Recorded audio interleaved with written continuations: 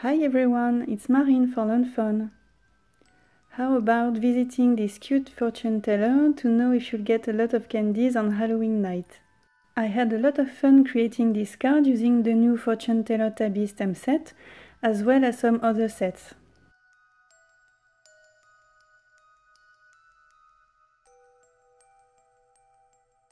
I first started by die cutting the main panel from the Reveal Wheel die set with the new circle add-on that I attached using washi tape.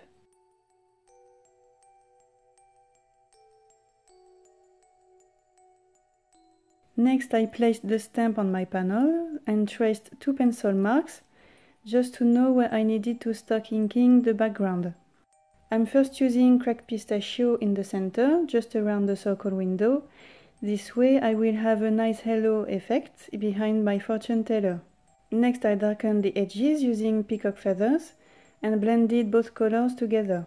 And to get a deeper background, I added black soot on the edges. I also splattered water on the panel and dabbed it using a paper towel. And to complete my background, I added drops of peacock feathers and black soot.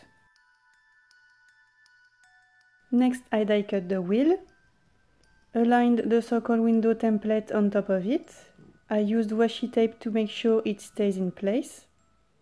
And then I stamped my images in each circle using jet black ink, making sure to rotate the wheel every time.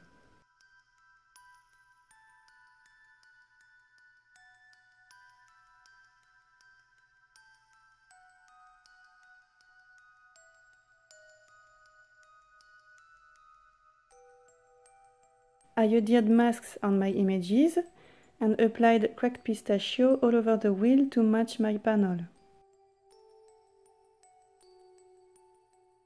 I removed the masks and started coloring those images using my alcohol markers.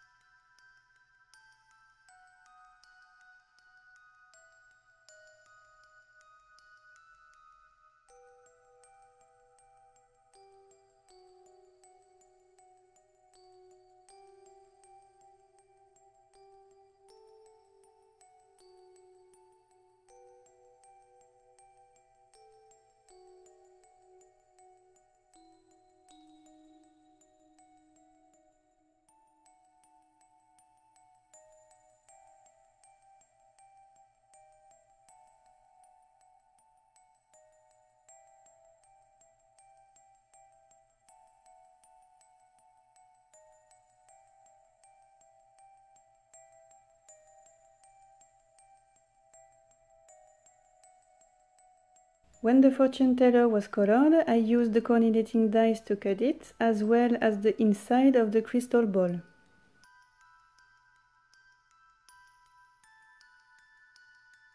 Next I needed some elements to ground my scene, so I die cut a piece of wood grain cardstock using the reveal wheel panel die.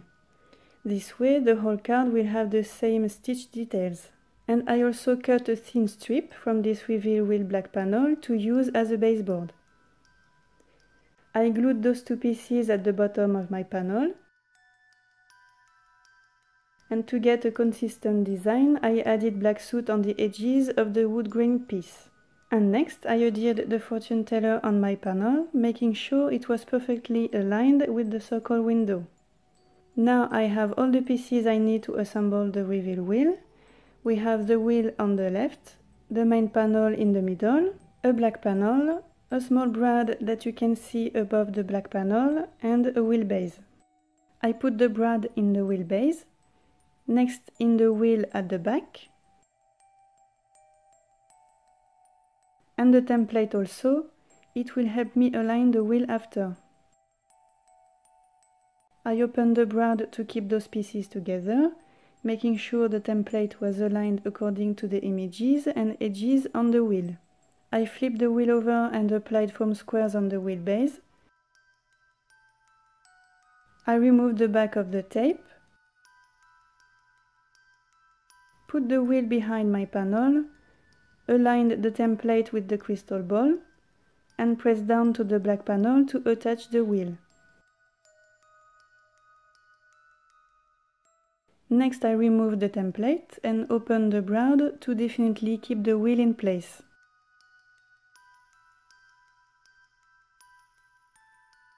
I adhered a bunch of small and large foam squares around the wheel, making sure not to touch it, and I stuck my panel down. and then I glued a small arrow that will indicate the recipient of the card to turn the wheel.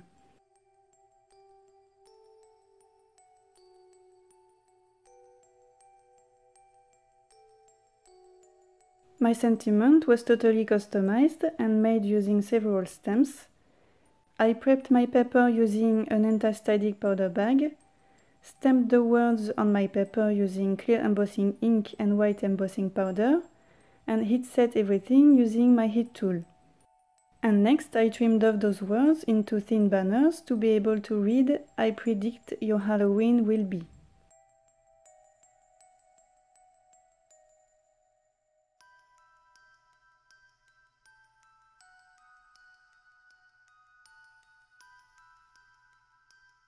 I wanted the last part of my sentiment to be bold and coordinated with the little ghosts, so I die cut the word boo and colored the letters using the same inks as the ones I used for the background.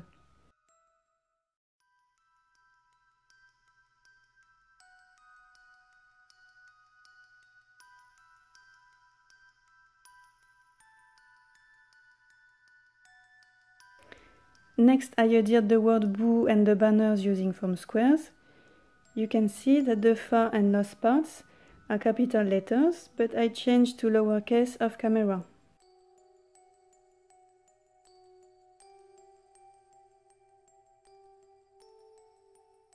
To coordinate with the tablecloth, I added some stars at the top of my panel using peacock feathers and black soot.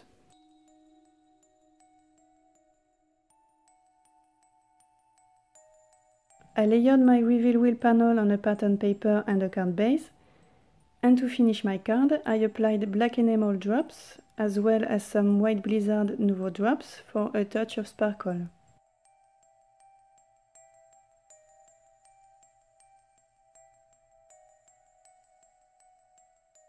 And this is the final result. Those cute little ghosts are ready for Halloween and it looks like they will get a bunch of yummy treats. I hope you enjoyed watching this video. I'll see you next time. Bye!